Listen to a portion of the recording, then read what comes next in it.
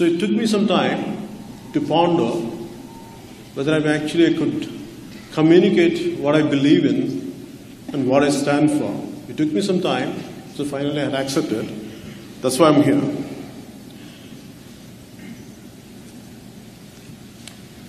And today the, the subject would be the global power, India's rising global power. But I can't talk about entire India because my experiences are confined, though I know a lot about India, but my political experiences or my uh, political realm is only within uh, state of Andhra Pradesh and the state of Telangana. So I would like to say, I would like to communicate from within Andhra Pradesh and Telangana perspective. But to talk about the global power, first I would like to, what we lack in our country, there is amazing divisiveness in our country. We don't feel as one unit. For me, the reason why I came into politics was I could see the divisiveness, how it is hampering the progress. And all of us, we believe we belong to one sect, one class, or one region, or one religion, but we don't feel the complete Indianness. We don't feel, for example, the North Indian leadership, they don't know much about South India. For example, Gandhiji traveled all over India. He knows nook and corner of India. Today, how many leaders, either from South or from North, actually know about the entire India? Today, I know more about America or more about West, what's happening in the West, than what exactly happening in the eastern part of India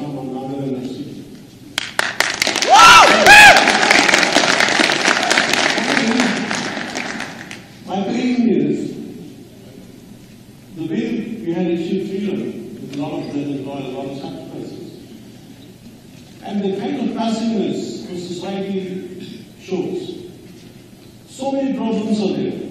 Recently, I've been to one part of uh, Andhra Pradesh, called Srikakulam district. Uh, one particular area is called Ghana. No one knows, not even the government, they have an idea. For the last 20 years, around more than 20,000 people died out of kidney disease.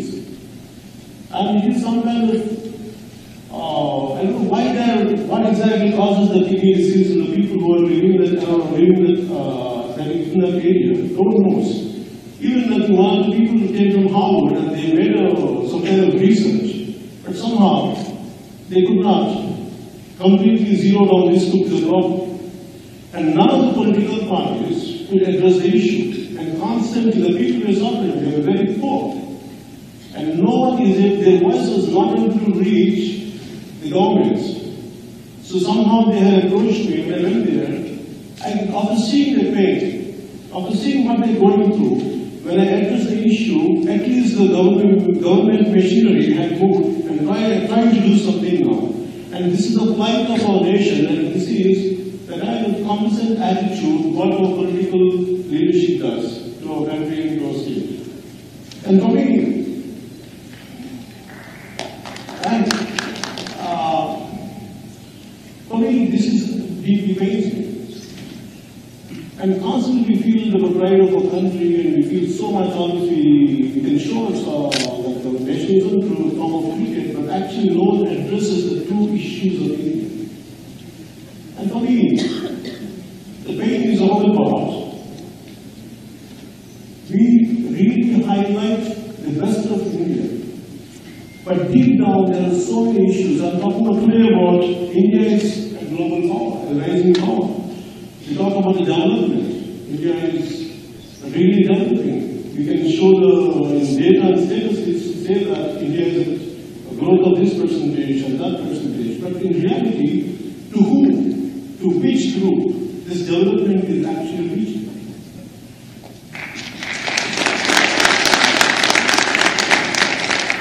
And we can promise in every, in every particular situation, they say that they're going to promise, we're going to bring on the moon for you. We're going to show this. But actually, in reality, people don't ask for big things. In 2000, 2007, I was working for the political party of an outfit uh, which was uh, established by my brother. And I went there in a district in Telangana state. It it was a complete, it's a complete tribal district. And like any other guys, even my party people told me, please you have your address, so let's go to the tribal places, let's see what we, as a party, what we can do for them. And first time, I've seen people struggling because they're saying that we're going to give you the best schools, we're going to give you a best education, we're going to do that. And after all the election rhetoric. So for some time, there was an old lady uh, like, you know, blinded right from her childhood. She was around 60 year old. And first until then, I never knew uh, people without eyeballs actually they can try. Never came to my experience as not a science student to understand. First that lady was trying, I said, guys, I don't know what you're going to do, but I we need just water. They're requesting her to have a basic water, nothing else. We don't want anything. We need drinking water. To get the drinking water, we have to go all the way to few kilometers away. We struggle. Could you get us water? That deeply pain. But like I heard about it. I went back to the constituency. And they put it just a few kilometers away. I'm talking about uh, from that place is the next meeting I went, it was of 60 kilometers away. And they put a, this kind of mineral water bottle in front of me. And I felt so guilty. There they're lacking of water. Here I get a mineral water. I felt uh, like a criminal. Was somehow, I lost interest in the political process. I only told my friends and someone who were following me, I said, can we do something till we get into whether we don't know whether we're going to win or not, but at least can we do something about it? And luckily, a few friends came forward and some uh, water, uh, who could identify the water bodies underground, they were there.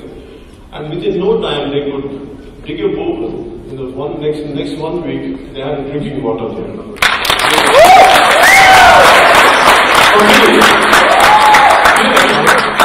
what I'm trying to tell you is, if I, as an individual, if I could do that much, can you imagine the power of machinery? Can you imagine the power of government? What they would, what they're capable of doing? Then I said, what made them not to go ahead and do it?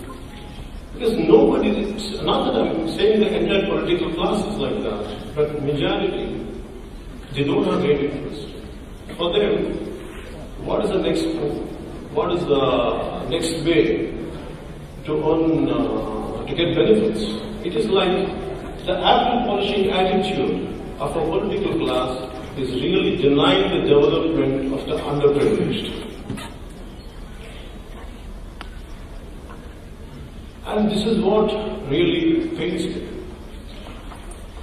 And if you ask me, like, to do, talk about how the global emergence of, like, you know, how India can rise as global power, I don't have that kind of experience.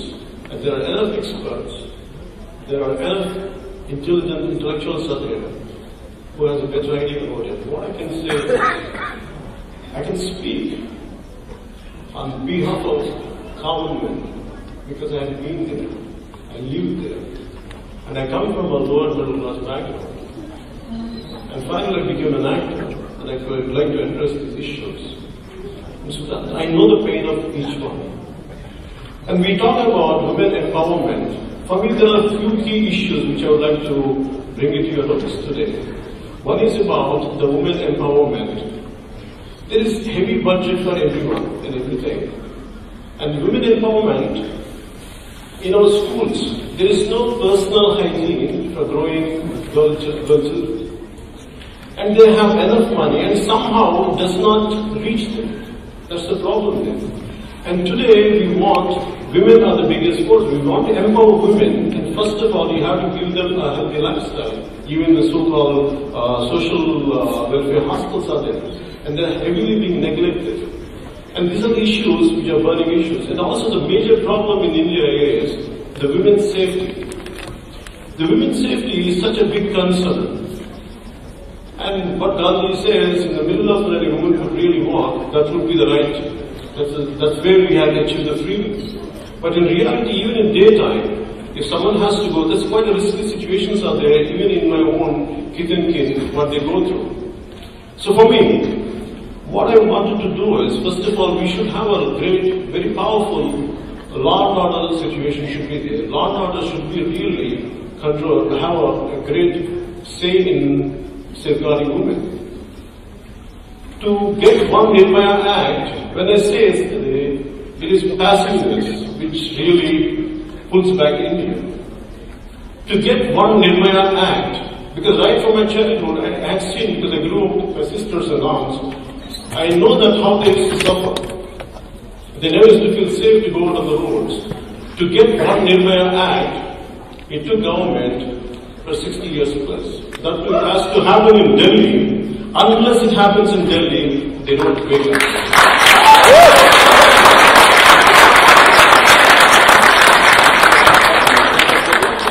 Everything cannot happen in Delhi to make them understand. To feel the country, they have to feel the pulse of the country, they have to feel the pulse of the people, which is missing. And recently I was talking about the, for example, the state has been divided, like we come from uh, unified Andhra Pradesh, and the state has been divided. What they did was, right from 69 to 72, both the states want to get separated. This is an example I'm saying how the past, how the of our political culture. It took them from 1670 to both states wanted to get separated. They wanted to have their independent uh, state. But somehow the government, central government said, or they made them to be together. After some time, they had their own problems. Different because they could never, whatever they had promised to make them together, no one had fulfilled. So what exactly happened? Within no time, by the time I was growing, they started getting, imagine the same language. We speak the same language. We just the dialect is different. And they started and they of the problem is the whatever they had been promised, it was not fulfilled. Suddenly the anger was being shown on another region people, which is no fault of theirs. I don't belong to the generation. I don't I don't know what exactly happened around 40 years back. It was not under my control. But the brunt but I'm facing the problem today. Somehow, it is quite painful because why? We will say India has to be one. We should feel the oneness here. One way they say in India, the constitution says we should be together, we should bind, we should, we should be as one individual entity and force. But in reality, they keep on dividing. As long as the divisive politics and vote bank politics are there, these kind of issues keep arising and India's progress will be, constantly will be getting, taking a back step. We go one step forward with this kind of divisive and vote bank politics, constantly accept, accepting, I mean constantly looking at people as a vote bank. For me, I know a lot of political, political leaders, they don't look at people as people. People are filled with emotions, people are filled with a lot of pain, people are filled with love. But what they look at them is, that's my vote bank. This particular caste is my vote bank. The particular region is my vote bank. They don't see them as humans. In politics, we should get a human angle. They are filled with emotion, they are filled with love and affection. We have to address that issue. And Unless we address the individual as, we have to recognize as individuals, not as a vote bank. Till we do it, India is going to get affected by this kind of divisive politics, this kind of vote bank politics. And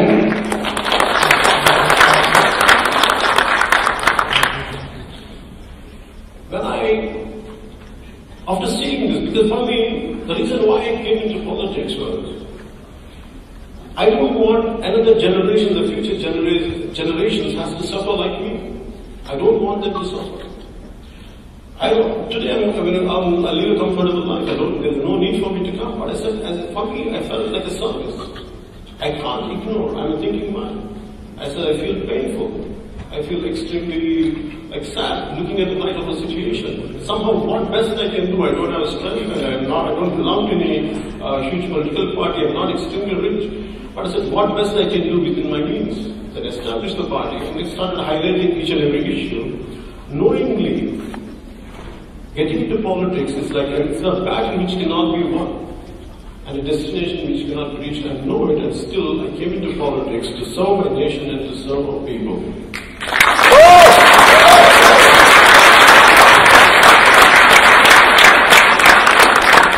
When we talk about development, we, we should understand we have to define development. Development is for each individual means different. For me, a lady her development is only a uh, water every day. That's not development. For someone else, it is another kind of uh, development. Maybe a housewife, it is nothing but to get her TV all right. And for a student, maybe a simple student, he needs a playground to play. This is what development means. Here we say that we, India is rising, India is achieving great standards, but the standards are not reaching to the majority of our Indians. And that's why you can see, even in Tamil Nadu, or other states, we have to understand why this large youthful protests are happening. Today we talk, we talk about the uh, like, uh, the, uh, dividend. The great uh, people of 19 to 20 demographic dividend. We want to reap the de- uh, demographic dividend. But actually, in reality, what exactly we are doing for them? People don't do anything for them. They just plan. They keep on saying so many things. They keep on like, we're going to do for this, we're going to for youth. They announce a lot of measures, but actually, in reality, how much it is translating to whom it is reaching are two different things. That's why today, if you look at Tamil Nadu, we know how many of you know about it. The lakhs of people came for Jallikattu, which is a traditional game of Tamils, to tame a bull. But the undercurrent reality which was there a few months before, they were saying that there is amazing restlessness in our state because the political situation is so volatile and no one is focusing on the ground. And it's very soon they're going to vent out in a different form, we don't know in which form. And we could see that Jallikattu is, we should not see as a mere anger on taming the bull, like, you know, when the Supreme Court said against taming the bull. It's not just about that, it is their frustration. Mere, you want to reap the demographic dividend, unless we identify them, we recognize them, and unless we channelize their energy, till now, India is going to give, India is going to see a rise of this kind of protest, including Andhra Pradesh, including Telangana, and including even recently I had seen in Gujarat. This is what is going to happen. This has to be addressed. And we talk about, and one more thing India has to focus is on education. And we look at most of the India is rural India and urban India. In urban there are a lot of sectors. And if you look at each school, the urban schools, there is no one out there. There are no right playgrounds. There are no right facilities. Including when I was growing up, I now had a playground in my own school. I thought it was confined to my times, or it was confined to them, but actually, if you look at it right now, all the urban areas doesn't have a playground. And here we want to reap the advantage of demographic dividend, yet we don't even, we can't even provide a basic playground to our own children.